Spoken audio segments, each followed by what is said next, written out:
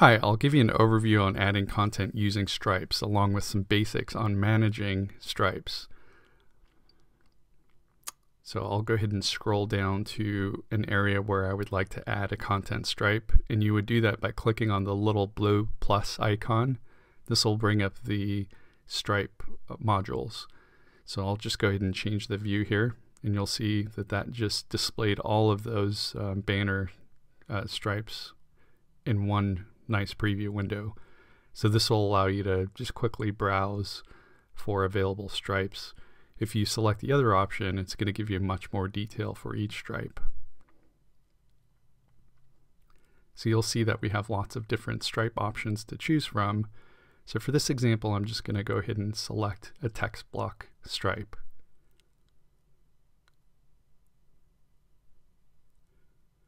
And this prompt that's coming up is just asking you if you want to apply the current style to this new stripe. So I went ahead and clicked yes. Now it's just a matter of um, editing the, the new stripe. So I'll go ahead and click edit to insert a new title.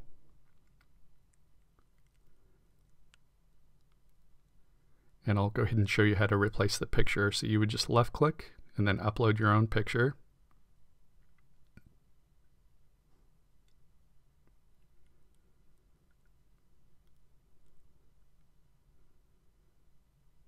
So I'll go ahead and replace the body text here.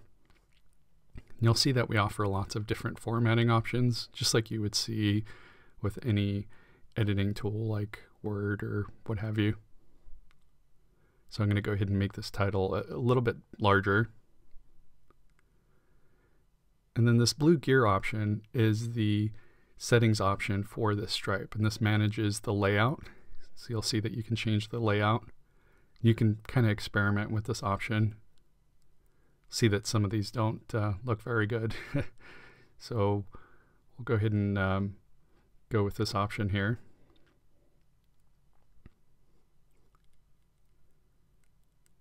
I'll move this window out of the way so you can see what types of effects it has. So you can experiment with these options as well. You'll see that that modified the text area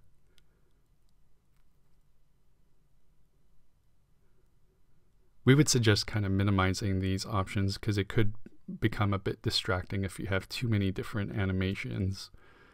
Um, you know, if all your text areas are moving. So I would use this feature kind of sparingly. So with the image, um, you'll see that there's lots of different options to crop an image. It's this particular image is set to cover. Um, you can set it to contain, which you can make it smaller, move it around a bit.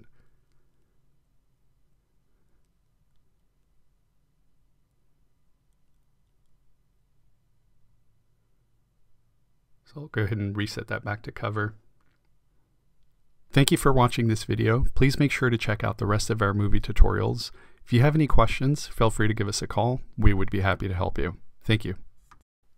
Thank you for taking the time to watch this video. Make sure to check out the rest of our movie tutorials for additional how-tos.